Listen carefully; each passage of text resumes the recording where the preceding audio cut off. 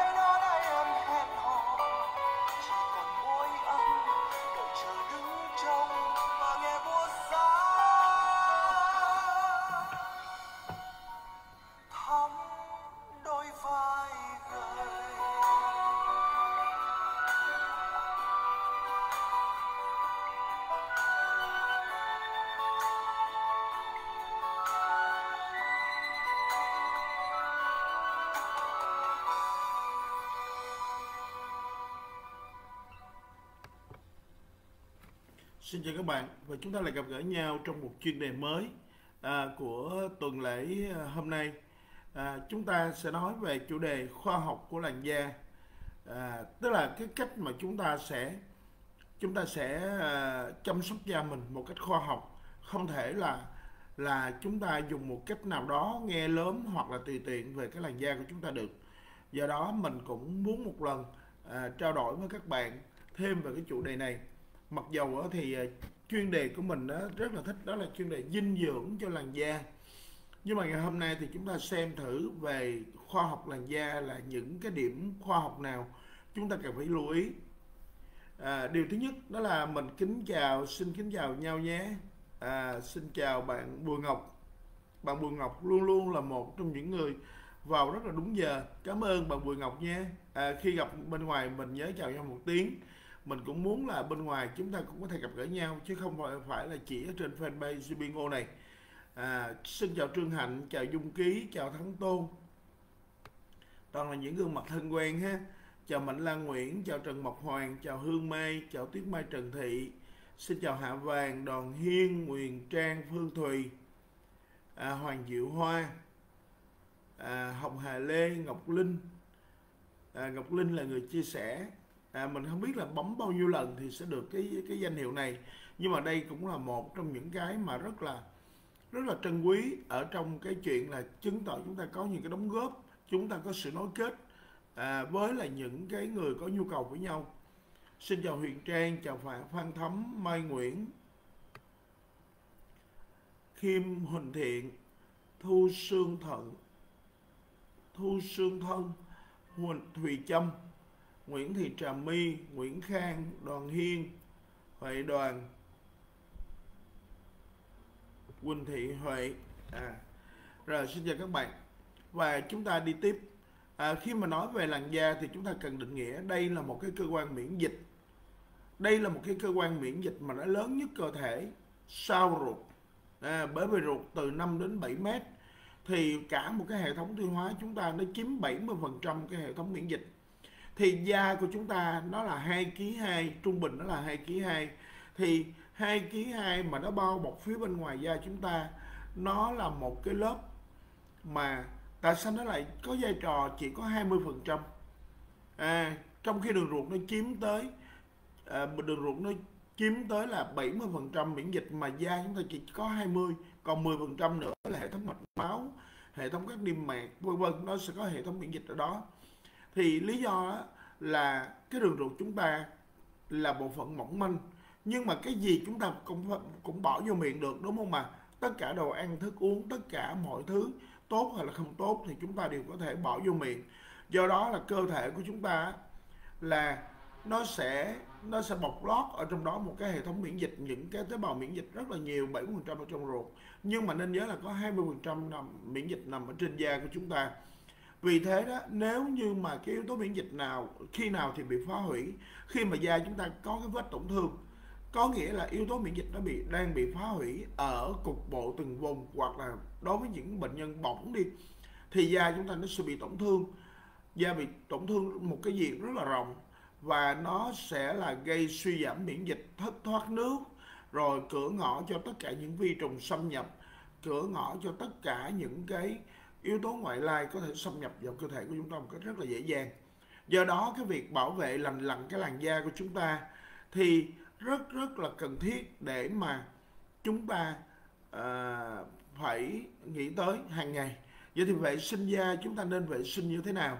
Đầu tiên đó là chúng ta nên nhớ trong các cái bước vệ sinh da thì da mặt của chúng ta nó tương đối là nó có cái độ trung tính và nhiều hơn là những cái dùng da khác, nó có tính chất kiềm nhẹ. Có nghĩa là dùng da ở trên bàn tay của chúng ta thường là nó có một cái độ pH khoảng là 5.5 5.5 có nghĩa là nó có một cái độ axit nhẹ. À và khi mà khi mà chúng ta có một cái làn da như thế thì nó sẽ là môi trường thuận lợi cho những cái con vi khuẩn thường trú ở trên mặt da của chúng ta. Nên chúng ta nên nhớ rằng là lúc nào cũng có một cái lực lượng vi khuẩn có lợi hay là lợi khuẩn trên mặt da. Chứ không phải là da chúng ta nhìn nó liền lạc như thế này là không có vi khuẩn. À, và nó làm gì ở trên mặt da của chúng ta? Nó sẽ ăn những cái tế bào chết. À, góp phần ăn những cái tế bào chết của chúng ta. Rồi nó góp phần ổn định cái độ pH để đảm bảo về cái cái tính chất kháng khuẩn của da của chúng ta nó giống như là probiotic là những cái con kháng khuẩn những cái con lợi khuẩn ở trong đường ruột. Thì ngoài mặt da chúng ta cũng có những cái con vi khuẩn như vậy. À, và và khi mà chúng ta à, làm à, ngày hôm nay không phải là cái ngày để mà trả lời thắc mắc thành ra võ thị hoa các bạn xin các bạn hãy là dành những cái câu hỏi để inbox ha và chúng ta hỏi vào tuần sau. Hôm nay chỉ là một cái hôm là cập nhật cập nhật thêm kiến thức về chăm sóc sức khỏe chủ động cho cộng đồng của chúng ta thôi. Do đó là xin các bạn hãy chúng ta hãy hãy cùng theo dõi và chia sẻ thôi. Thì bây giờ mình nói cái điều thứ nhất. À, các bạn chờ mình một tí nha.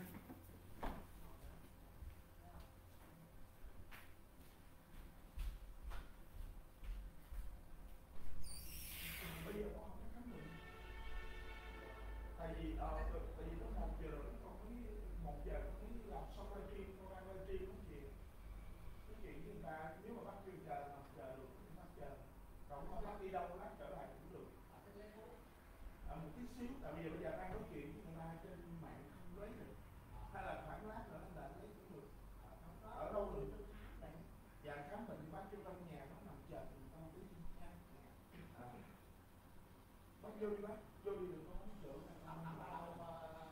thành được đi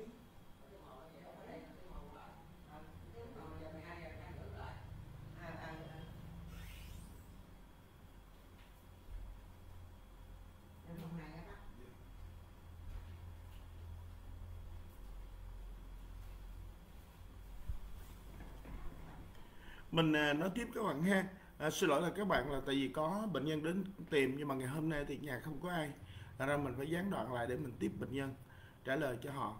Thì à, khi mà nói về điều này chúng chúng ta là chúng ta cần phải tôn trọng cái lực lượng à, cái lực lượng lợi vi khuẩn có lợi nằm ở trên mặt da của chúng ta. Thế thì những cái việc mà chúng ta chọn những cái sản phẩm à, chăm sóc cá nhân sữa tắm à, dưỡng thể vân vân nó có liên quan tới cái điều này có nghĩa là một mặt nó phải đảm bảo cho da chúng ta được sạch. Thứ hai là da chúng ta được được à, gọi là là là được mịn màng à, được sáng đều màu à, được à, săn chắc. Nhưng mà nó không được quyền làm cho da của chúng ta à, trở nên là là nó bị loạn khuẩn à, ở trên bề mặt da này. Ví dụ như là những cái những cái loại xà phòng cục hồi xưa đó bây giờ mình thấy không dùng để tắm nữa người ta chỉ dùng để mà rửa tay trong một số cái trường hợp đặc biệt thôi. Chứ còn á, là à, là là ờ, mình sau một cái thời gian tắm xà bông cục 72 phần dầu thì người ta phát hiện là tính sát khuẩn quá mạnh 72 phần trăm mà lượng lượng sút ở trong đó. Thì khi mà cái lượng sút nó có nhiều như vậy nó tác động lên mặt da và đã giết chết những cái con vi khuẩn à, có lợi nằm ở trên mặt da của chúng ta. Đây là một cái khoa học mà chúng ta cần nên nhớ. Điều thứ hai là sau khi chúng ta tắm xong thì nhất thiết là cái chân lông của chúng ta nó phải được làm sạch sạch và thoáng.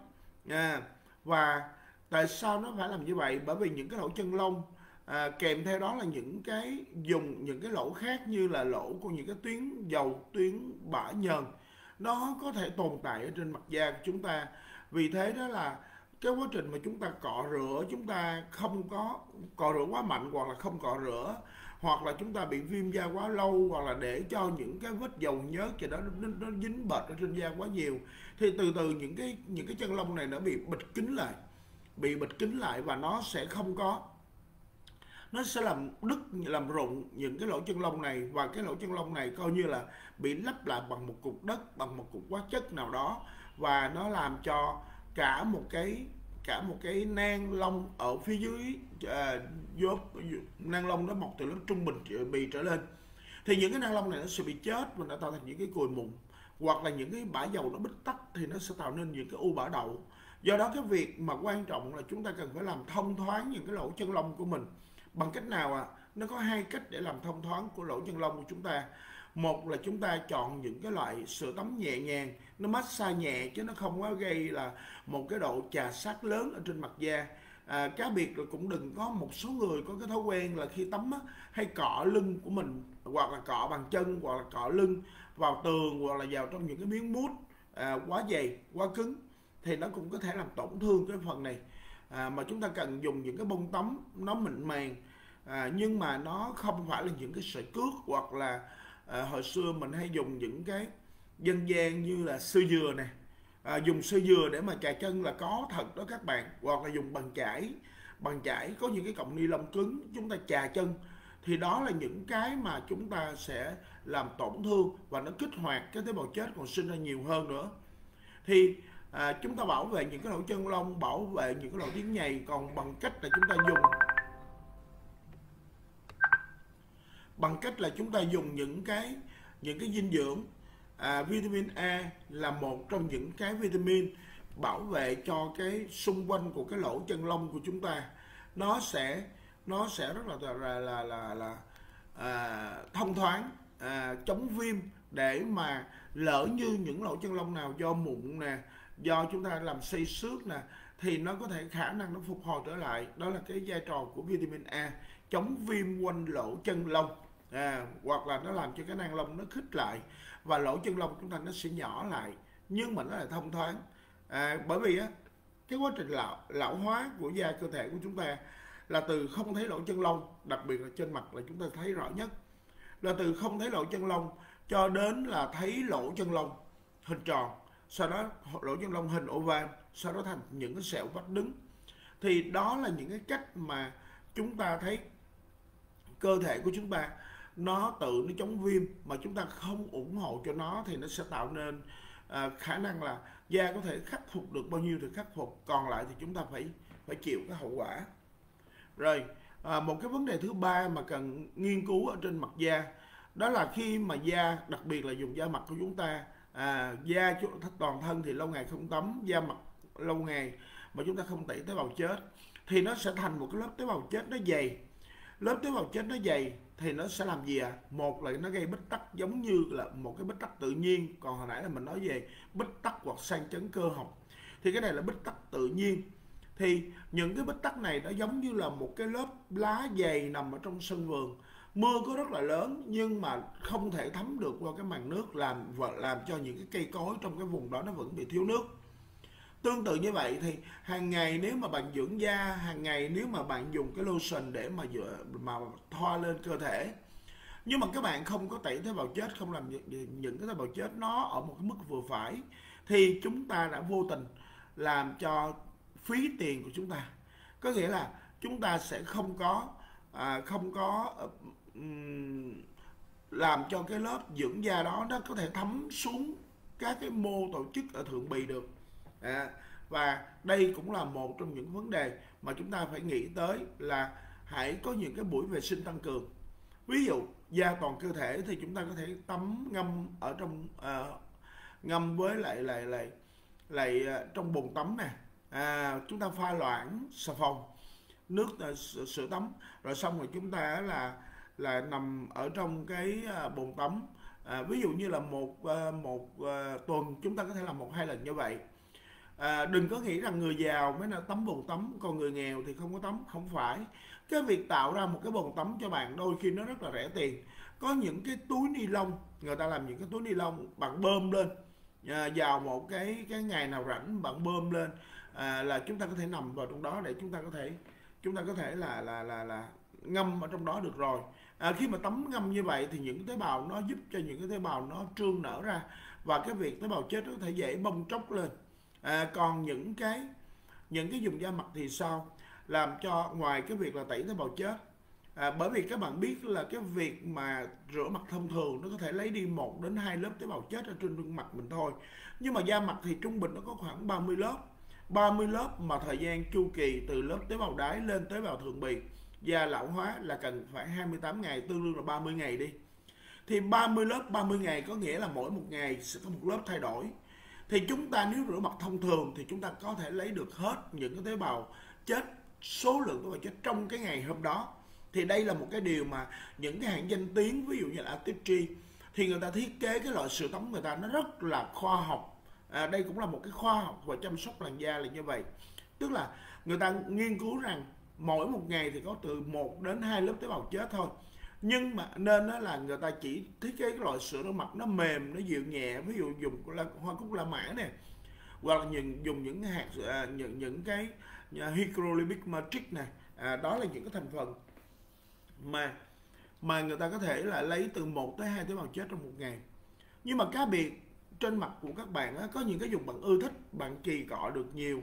Còn có những cái dùng gốc cạnh vân vân có những một số dùng chúng ta sẽ không chăm sóc chúng ta không lấy được hết thì cái lượng tế bào chết nó có thể có nhiều hơn.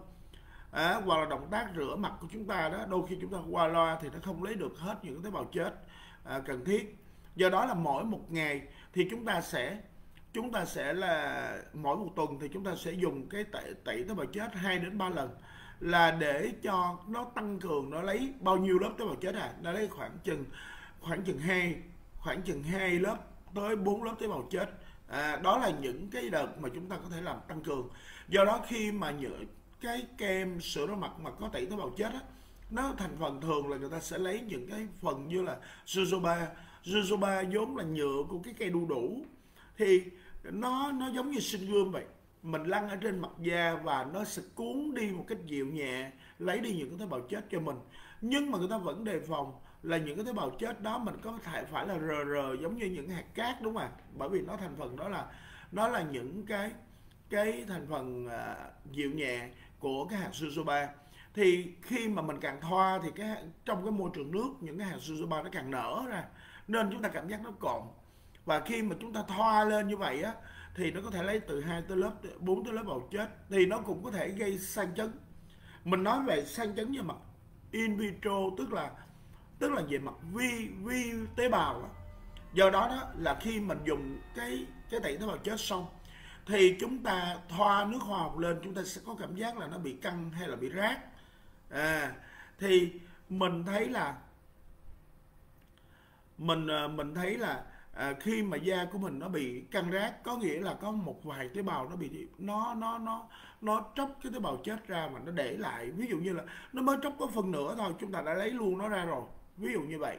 À, nhưng mà điều này thì nó không tổn hại tới vấn đề viêm chung của da đặc biệt nữa là cái cái nước cân bằng hoa hồng nó sẽ có một cái thành phần là aquasbi à, mình nhớ là cái tên là aqua ne hay là aquaspiro gì đó và cộng với một thành phần gọi là cancician thì hai cái thành phần này à, mình biết là cái lúc mà mình đi ở bên Pháp à, ở trên đại lộ Champs Elysees thì người ta bán một cái serum như thế đó khoảng 30 ml là khoảng 400 đô tức là khoảng 10 triệu đồng.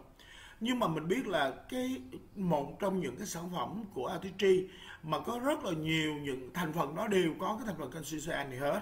Đó là đó là là là là cái nước cân bằng hoa hồng của chúng ta. À, và nước cân bằng hoa hồng của Artistry thì nó rất là rẻ nó tầm khoảng chừng chưa đầy tới một triệu đồng là chúng ta có thể sở hữu được cái dung dịch. Thay vì chúng ta phải mua tới là nhiêu ạ à? 10 triệu đồng. Thì đây cũng là một trong những cái lý do vì sao mà ATG lại được là một cái thương hiệu bình chọn rất là ưa chuộng nằm trong cái top hit toàn cầu về mỹ phẩm là như vậy. Trước đây nó là top 5 bây giờ là top hit. À, và một cái điều nữa là khi mà chúng ta chăm sóc cái tẩy tế bào chết như vậy á thì mình thấy là nó đang à, nó đang là là là đi đúng hướng. Mỗi một ngày chúng ta chỉ lấy từ 1 tới 2 tế bào chết. Một tuần chúng ta có thể tăng cường những cái đợt lấy tế bào chết là 2 đến 4 lớp tế bào chết nhờ nhờ là sữa rửa mặt tẩy tế bào chết nha. Rồi à, một cái điều tiếp theo là dầu thì tan trong dầu nước thì tan trong nước.